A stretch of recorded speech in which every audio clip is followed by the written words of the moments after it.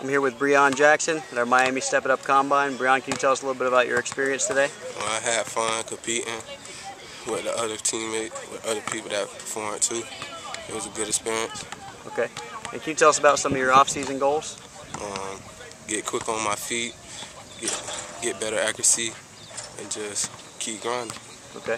What would you say separates you from other people at your position? Confident. All right. Uh, what are three colleges you're looking at? Um, BYU, Marshall, and that's probably it. Okay. Well, what are you looking for in a school? Um, architecture. I want to be football. Don't work out. I want to be an architect. Okay. Sounds great, Breon. Appreciate it.